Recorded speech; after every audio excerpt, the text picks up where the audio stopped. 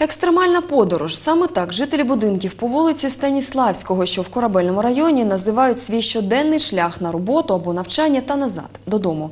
Звернення до влади на різних щеблях закінчуються однаково відписками. Мовляв, грошей немає. З надією, що їх вимогу почують чиновники, звернулися до четвертої влади. Люди вимагають від влади зробити тротуар та освітлення на цьому відрізку дороги, а також поставити огорожу. То есть взрослые и дети вынуждены ходить по проезжей части, потому что вот по этому участку, где мы сейчас стоим, просто невозможно пройти. Это вот эти дни сухо приморозило, еще можно более-менее где-то пройти. А если э, мокрая погода, пройти совершенно невозможно. И мы рискуем своим здоровьем, своей жизнью, особенно жизнью детей. З 2013 року Ірина і активні жителі мікрорайону ведуть переписку з владою на різних рівнях та віз і нині там.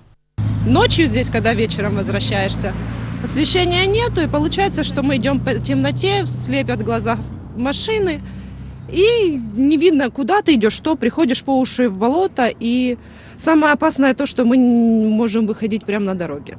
Летом большие лужи, тоже нам тяжело пенсионерам. Обувь намочишь, болеешь.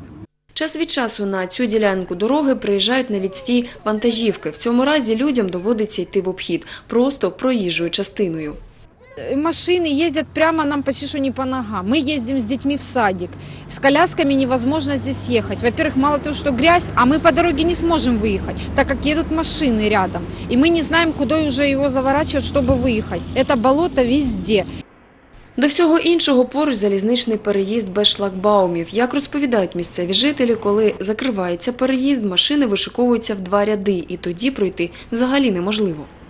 Если долго он закрыт, это, ну, пытаешься перейти, оно объезжает на скорости, там проскакивает. Если иду с коляской, у меня двое детей, вот иду с коляской плюс ребенок. Ну, ребенок как за руку хватаешь, конечно, но тут же и за коляской сидеть, тут ме- тут между машинами, ну, ну невозможно пройти просто, нереально. Люди сподіваються на мера та новообраних депутатів. В іншому разі будуть виходити на пікети і перекриватимуть дорогу. Катерина Лисюк, Андрій Заворотній. Телевізійні новини Миколаївщини. Thank you.